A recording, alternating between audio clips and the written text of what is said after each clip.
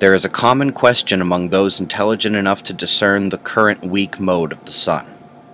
As the last solar minimum ran long and low, followed by the current weak maximum, speculation abounds about the entry into another grand solar minimum. We know that temperatures drop during a grand minimum, but how much? And what else should we expect? These are driving concerns.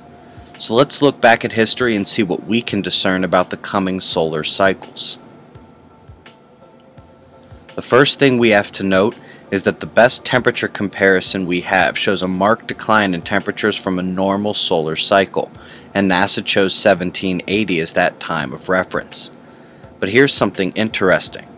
Looking back at the entire grand solar cycle, 1780 appears to be one of the weaker cycles and about half as strong as what we've experienced in recent decades.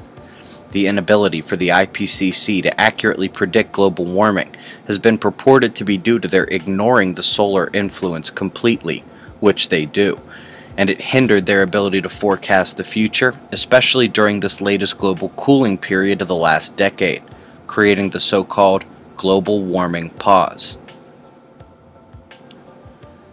The best multi-grand cycle reconstruction shows that the solar activity spike during the period of global warming was not only the modern cycle grand maximum, but likely the highest solar activity of the last 3,000 years. Given the best approximations of previous cycles, it is indeed the highest activity and lasted much longer than the maximum spike should last. The experts claim that this maximum is rare and perhaps a unique event among our observational and reconstructed data, both in intensity and duration over the last three millennia. Seems like a bad thing to ignore if your current models have failed for two decades straight. But what about this current pause, the cooling? About a decade ago, the sun changed gears.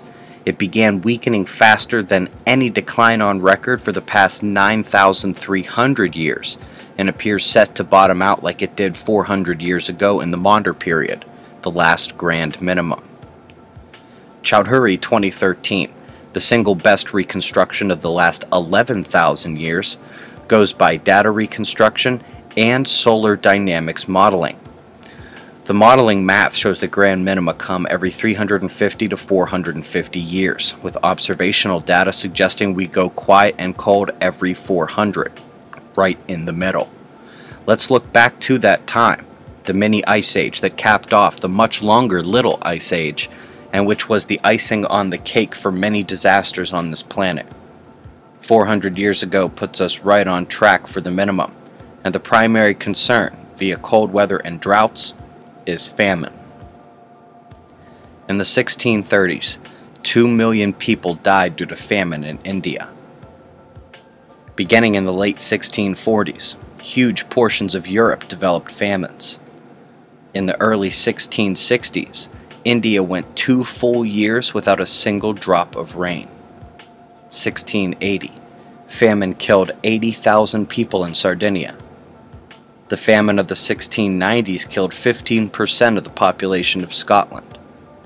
2 million dead in France during that same period. Later in the decade, more than 100,000 people died in Sweden and Estonia. And at the turn of the century, 2 million more people died due to famine in India. Just a few years later, Eastern Prussia lost 40% of its population to famine. Given the cold NASA has identified between a grand minimum and a normal or slightly weak solar cycle, what sort of shift would we experience coming off the grand maximum of the age of global warming? Most scientists still refuse to even consider this data, let alone this one. And look how quickly many of these drops occur, and our current weakening is faster than those.